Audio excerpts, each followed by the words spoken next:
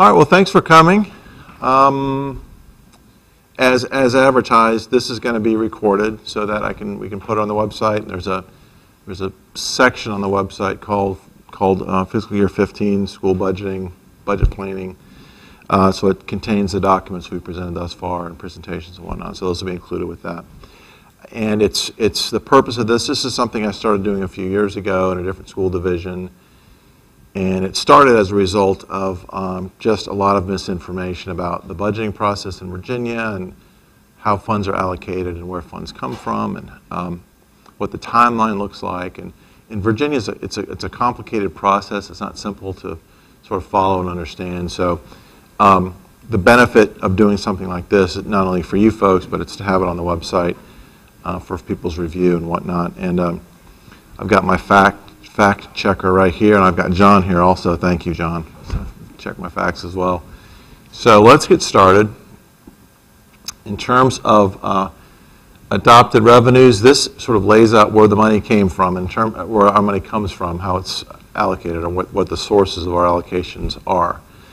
And uh, I've mentioned a couple times this year that, you know, just in starting this year as superintendent, as a new superintendent, you know, I heard comments about where money comes from, and the majority comes from the state, and in Fauquier, the majority does not come from the state. The majority comes from the locality. It's just over 60%. So of our, of our budget, roughly $129 million budget, uh, that's how it's broken out. About a third comes from the state, the majority is locality. Uh, federal is about 3%, and that's, that fluctuates a little bit. It's fluctuated in the wrong direction uh, for next, next fiscal year because of sequestration that hurt the budget a little bit. And the other category are things like grants, tuitions, fees, student fees, things like that, which ought to be included in the budget, in that bottom line figure. How the money is spent. Um, these are, are um, sort of the, the categories where the state expects us to uh, report. So anytime there's dollars spent, they have to fit into one of these categories. And if you'll see down here in the bottom, 80% goes towards instruction. That's a very, very good statistic because the state requirement is, or it's not a requirement, the state guideline is that we spend roughly 65% of our money towards instruction.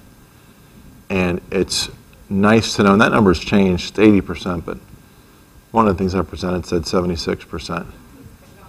Oh, okay, we added technology to that line. So that's a very, very good figure. 80% of our dollars go towards instruction. But uh, most of that is in all these categories are for salaries and benefits. So you see the other categories, administration, attendance and health, transportation, facilities management, and construction.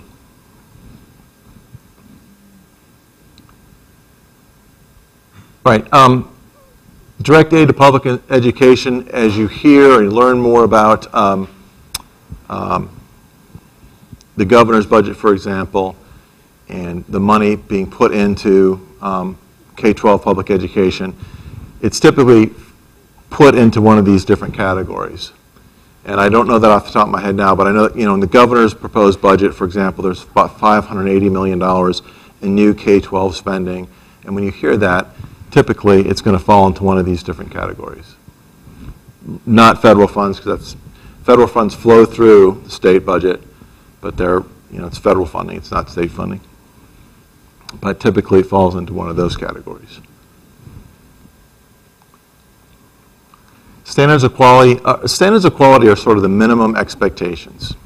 And um, so when we receive, um, it's a, a, template from the governor's office after the, or from the state, from the Virginia Department of Education, and they, they'll provide us with a template. We plug in our anticipated ADM, and it'll sort of tell us um, where our, what our different funding levels are based on standards of quality.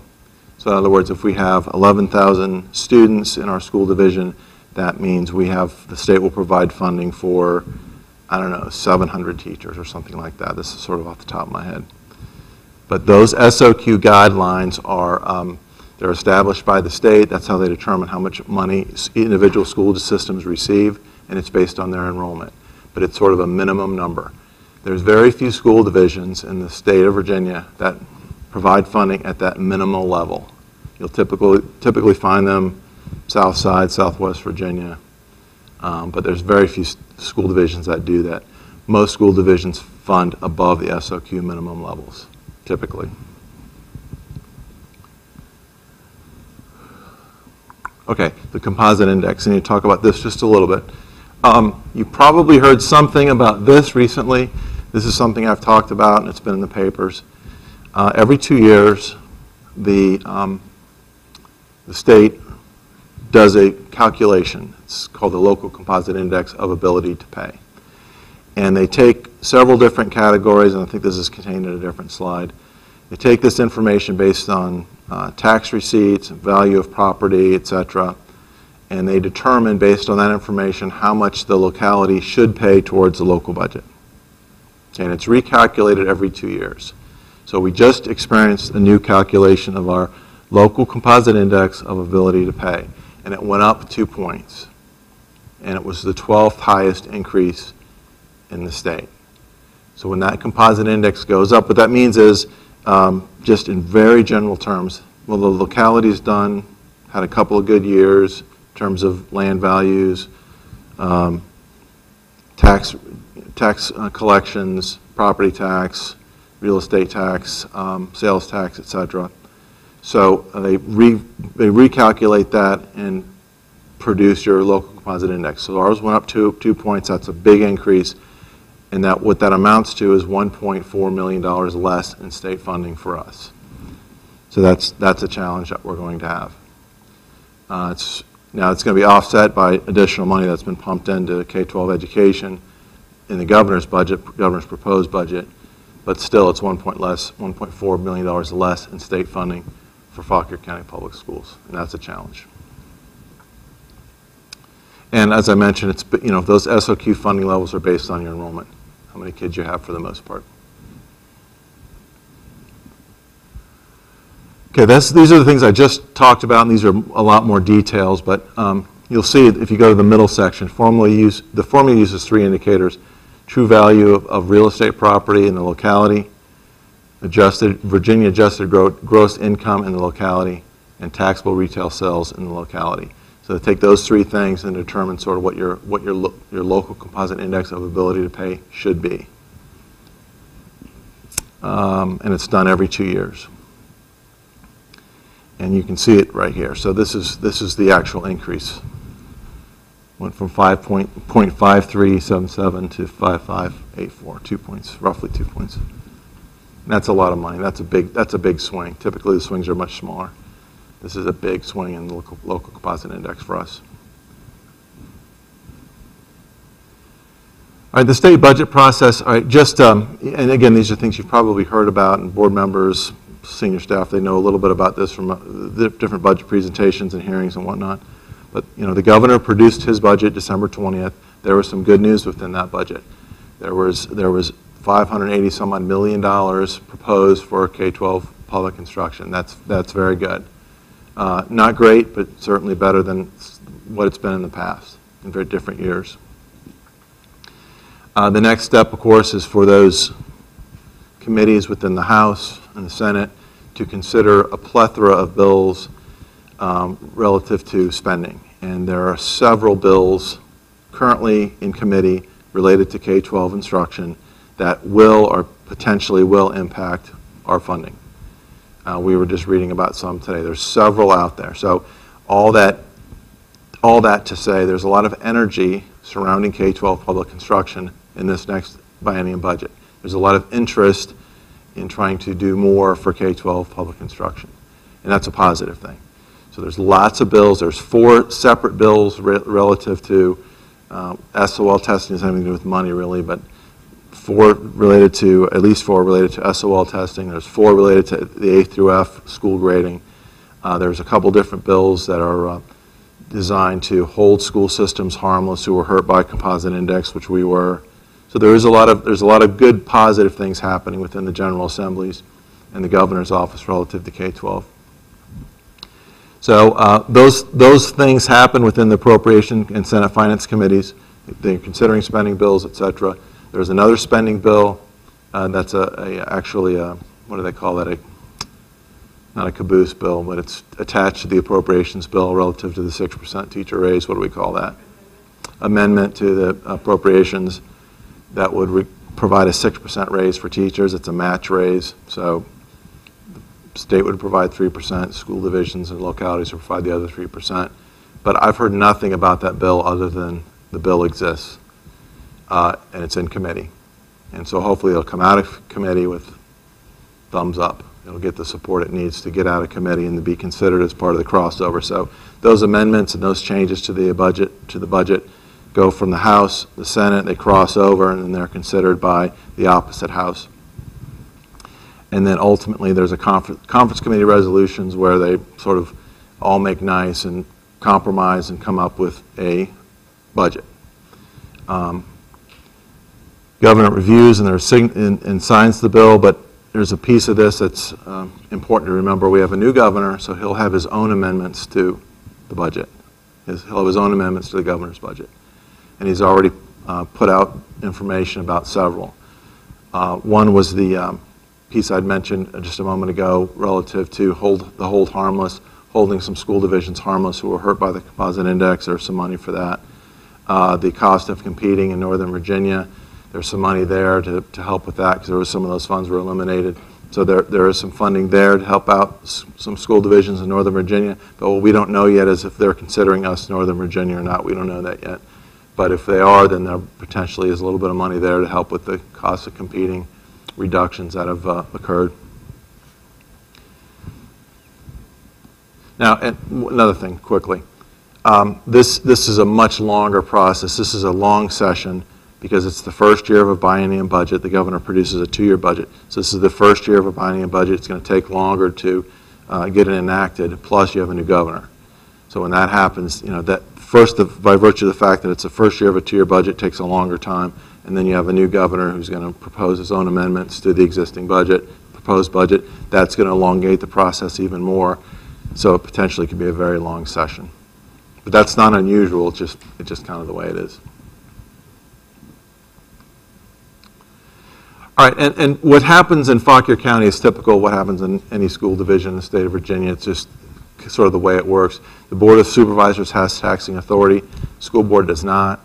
That's another one of those misconceptions out there among some that think that the school board has the ability to tax. We don't.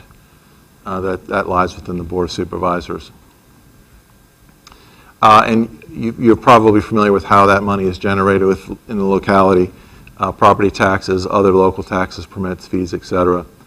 In fiscal year 2014, the local revenues were 129.9 million. Uh, And their support for public education in that same year was 78 million, uh, 400,000, that was 60%. I think 60% when, when, um, I know there's, in the past, there's been some uh, legislation, proposed legislation that would require localities to fund schools at at least 60% of their local budget. That's not law, but that's, that's, it's sort of a guideline, I think. I hear that, that number a lot relative to the local support for public schools. It's usually about 60%, give or take, of their local budget goes towards um, pub, their public school system. Of course, BOS also, also funds other governmental agencies, public safety, judicial administration, general government, parks and rec, libraries, community development, lots of different other agencies. But typically, school divisions are the largest piece of any lo- local budget, when we're no different. We're the largest piece of the local budget in Fauquier, as is in most, most places.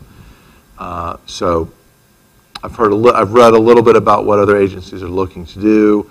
I know the Commonwealth's Attorney's Office, you may have read about, they're hoping to, um, uh, I guess, create a cold case division um, to, you know, wrap up some cold cases, and that costs money because it requires people to do that, lawyers, investigators, et cetera.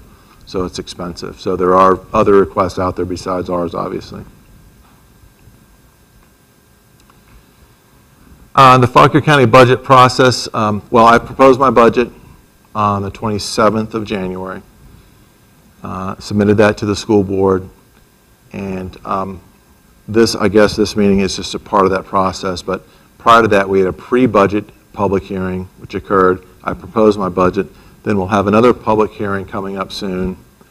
Um, The school board will hopefully approve my proposed budget, submitted to the county administrator. The county administrator, in the timeline, in just a minute, I'll show you, um, he has his own timeline for producing and um, proposing his budget. John, do you know what that date is when he proposes his budget, Paul? I believe it will be proposed at the March, uh, what's the budget meeting?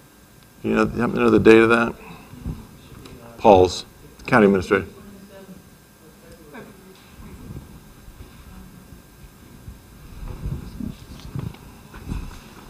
Well, Oh, that's fine. That's fine. Uh, Well, the county administrator will propose his own budget after, you know, getting our request, getting my uh, proposed budget. Hopefully, if, if the- our board, school board approves my budget, then that goes on to, uh, to, for consideration by the county administrator. Uh, Ultimately, our, of course, our proposed budget or approved budget goes on to the Board of Supervisors. There's another public hearing, and this Board of Supervisors then adopts and appropriate budgets and adopts tax rates. And then the school board ultimately adopts the fiscal year budget. And that, throughout this process, of course, there's adjustments made because our proposed budget is for $5.1 million in new, in new local funding. So um, let's say that for some inexplicable reason, we're not funded at the full $5.1 million level, uh, we'll have to go back and adjust our appro- approved budget.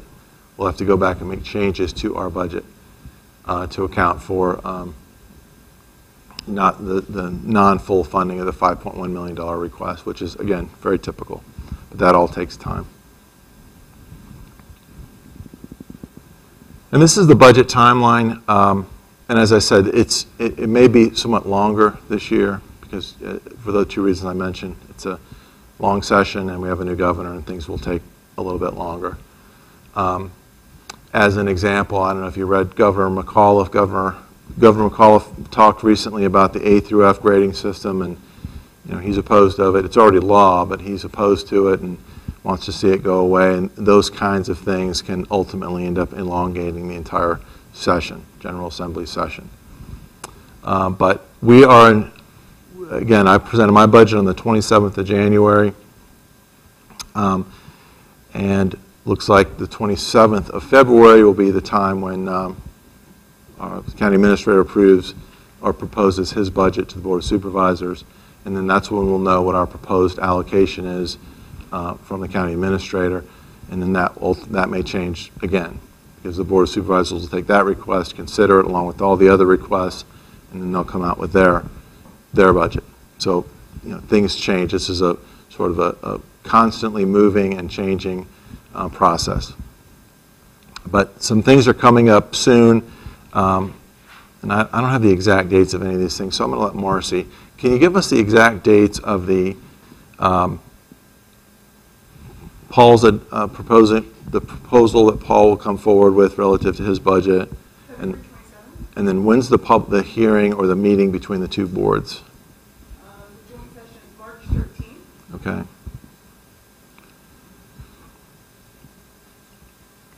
And then there's another BOS public hearing shortly thereafter. um, March 18th. Okay. Yeah, this,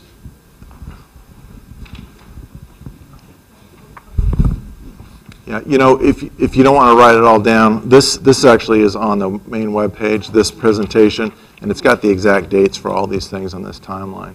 So if you go to the main webpage and you'll see on the quick link section, it'll say fiscal year 15 um, budget timeline or, or budget process.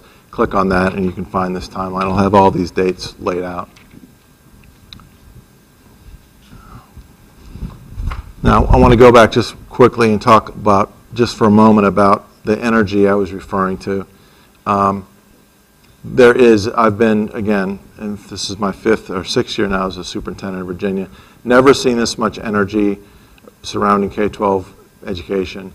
Um, I believe this is, uh, the $580 million that Governor McDonnell proposed is, in his budget, is uh, the most I can remember being proposed or, or uh, proposed for K-12 public instruction. Um, That's a real positive thing. And all the spending bills that are sort of out there in committee uh, being considered that are written in order to help K-12 instruction, those are all positive things. So there is a lot of energy um, and a lot of goodwill right now for public instruction. But how that plays out in the end, I don't, don't really have any idea. Um, Governor McAuliffe, he has proposed a few amendments, and some involve money for, for instruction, for uh, public schools. But if they're, whether or not they're approved or not, I don't know. But there is some extra money there uh, earmarked for the cost of living, or excuse me, cost of competing, uh, and then the hold harmless, which I mentioned. So it's, it- it's truly a a very complicated process, um, and I- I don't see it changing significantly. I I doubt it'll change much at all. Uh, I do think that, um, I think optimistically, I think what's being proposed from uh, Governor Mc- uh, Governor McAuliffe to, excuse me, Governor McDonnell to Governor McAuliffe, I think things will actually improve. I think that funding level will, is going to improve somewhat. How much, I don't know, but I think it is going to get a little bit better. So I'm fairly optimistic. All right, what did I miss? Nothing? Should I leave anything out? You'll tell me later, thanks. You know what you should have said? Yeah. Um, Okay, so I'll stop now for any questions that you might have, because that's a- a tremendous amount of information. And as I said, we'll post this, and there's another presentation already posted uh, that has exact dates on different meetings and whatnot, but what questions are out there about budgeting 10 101 in Fauquier County? Yes, ma'am?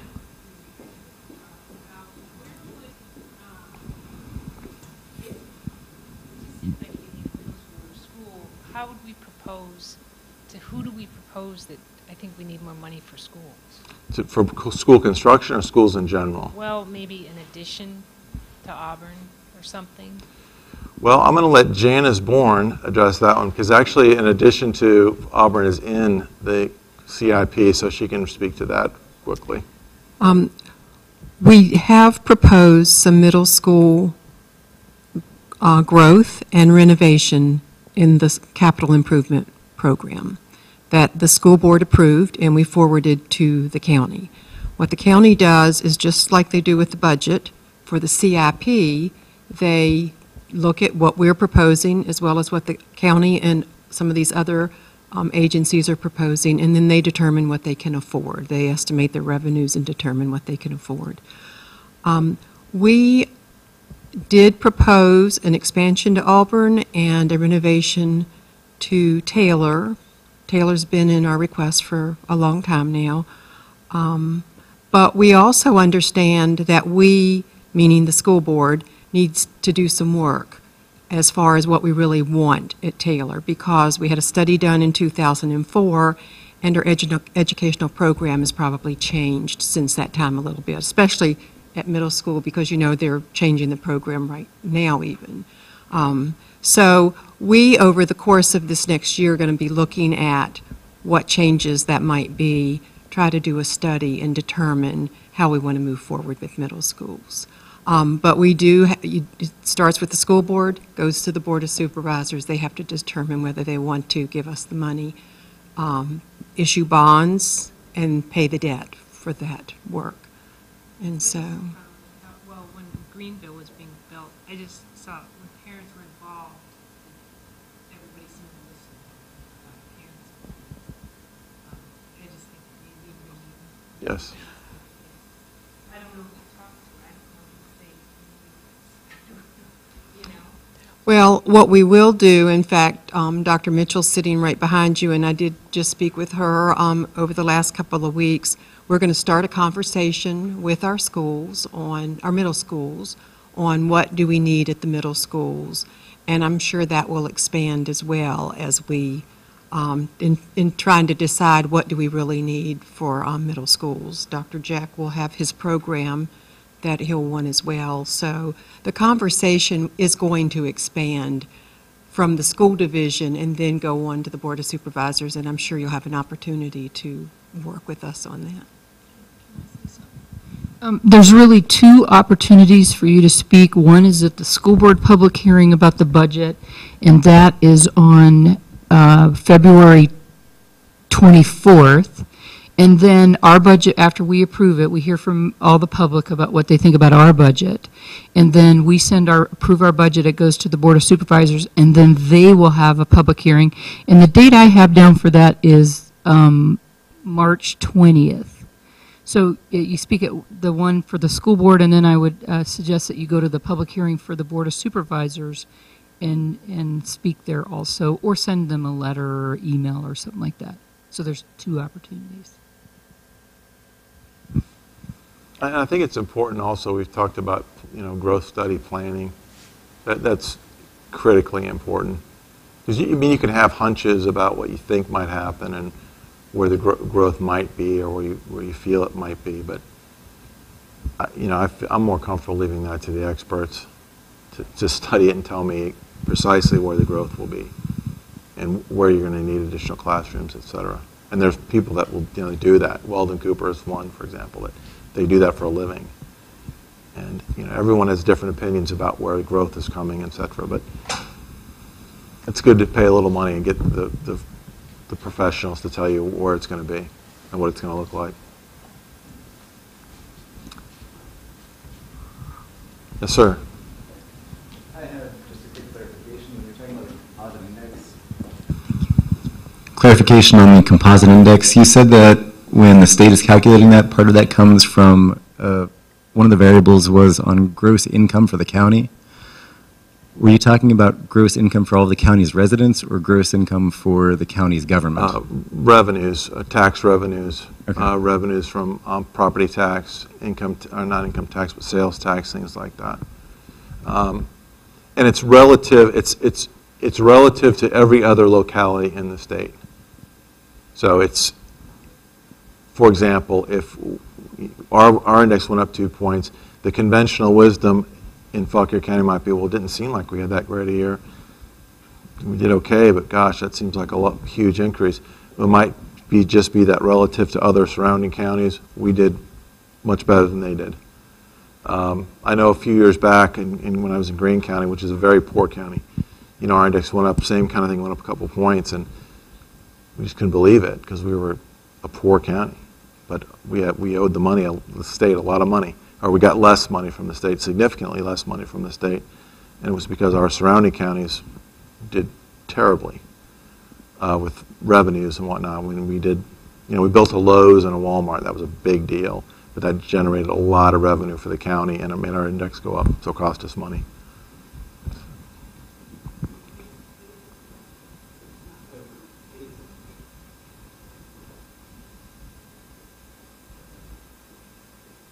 But that there's but there's three. There's you're talking about revenues for the county. You're talking about tax revenues, proper, or excuse me, property tax revenues and income, I keep saying income tax, sales tax revenues.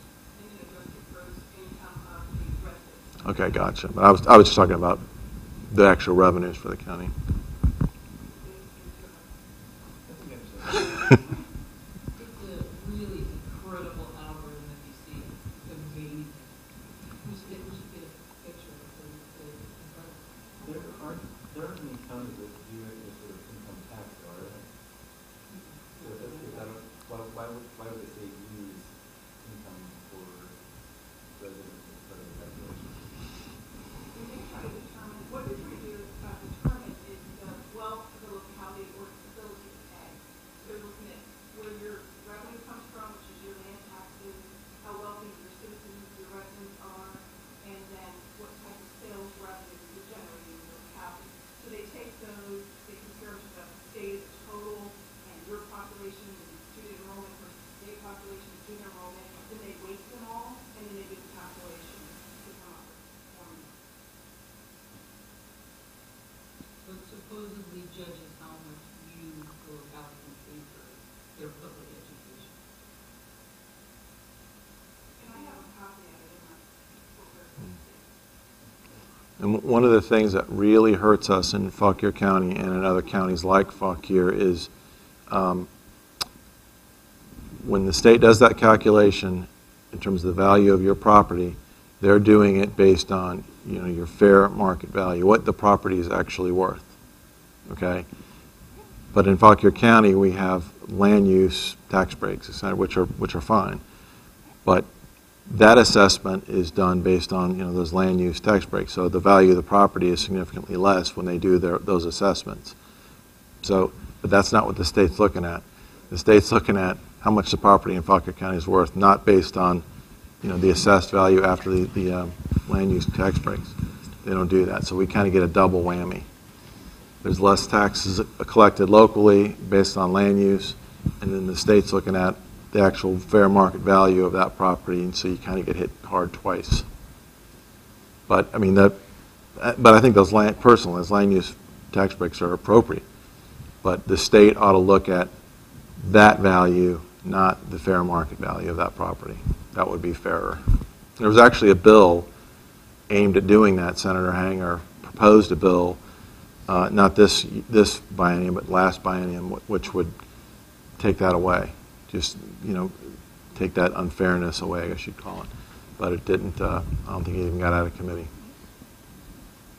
But there's a lot of places like Fauquier that are in the same category, same, same situation.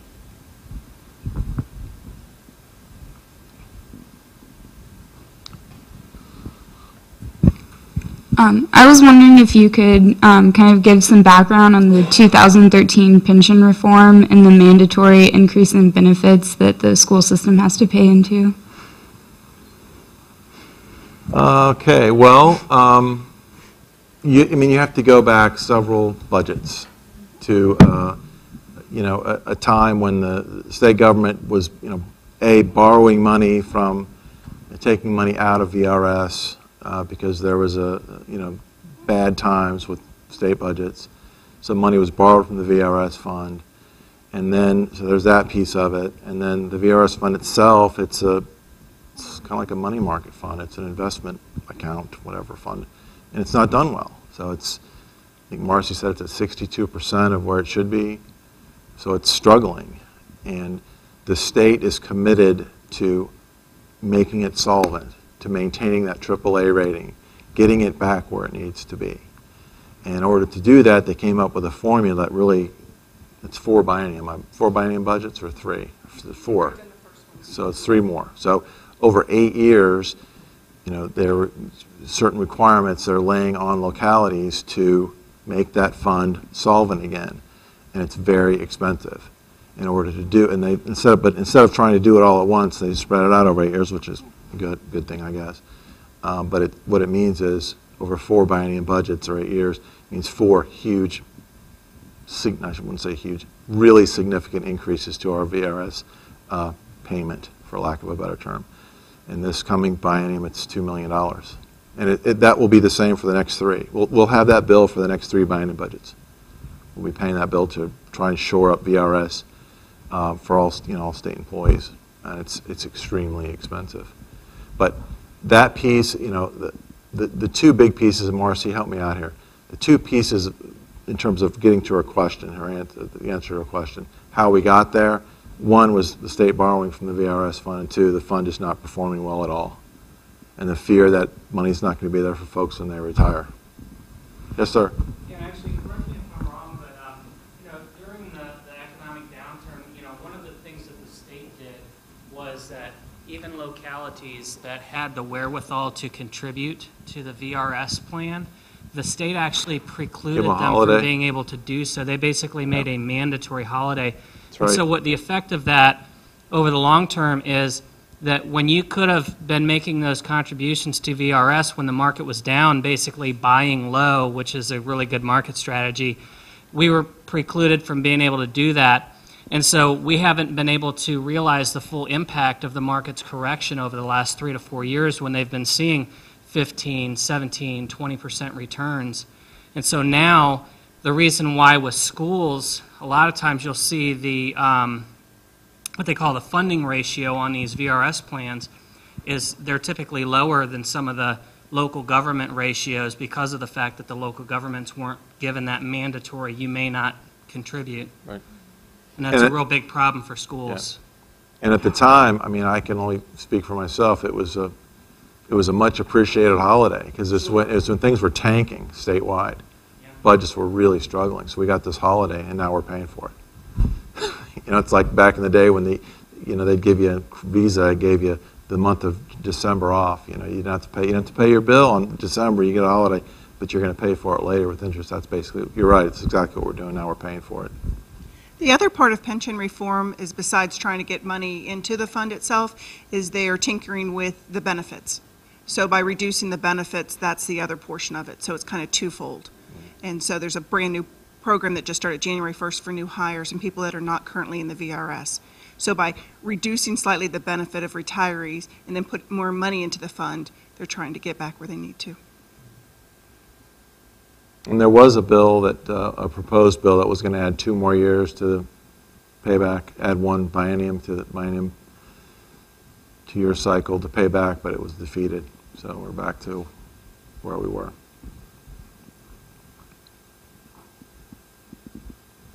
Other questions? Anybody in the back have any questions?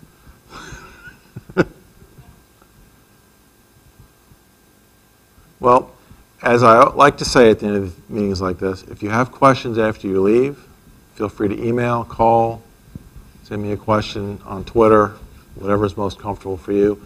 We'll post this. Um, I think we'll, we'll probably switch that timeline out to include the one that has the dates on it, uh, so folks know exactly when those meetings are coming up. It's just kind of a little thing, but it is complicated, and, and hopefully we've helped just a little bit maybe explain why these things get so complicated and why it's so difficult to understand. Because it's, you know, I was thinking about this on the drive over here. It's, it's, um, there's a lot of opportunity for folks to feel like you're, you know, withholding information or not being 100% transparent because it's so complicated. And it, even to try to explain it and mull, your way through it and make sense of it takes a lot of time and a lot of effort. And it's not, it's just not easy. It's not easy to do. But some of these bills, like the VRS you know, increase, it's required. We do not, we don't have an option. We must pay that $2 million. We don't have a choice. It's a required benefit. So we, there, there are no options there. And we have the benefits increase for health benefits is of about 5%, that's $600,000. And then the third link in the chain, which is the local composite index change, which takes state funding away. Just, just some challenges for us this next budget. We have some challenges we need to overcome, but we will, and we'll be fine. But it's just, uh, as I've said to the board, and, and we've, as we've talked about in senior staff, just to be able to do next year what we're doing right now in Fauquier County Schools is going to cost $1.7 million more. Uh, and that's just, that's just benefits. That's what that amounts to. Benefits and uh, benefits increases and a little bit of loss, loss of state funding because of the composite index. So just keep that in mind. All right. Well, thank you all very much. Appreciate you coming. We'll have this posted shortly.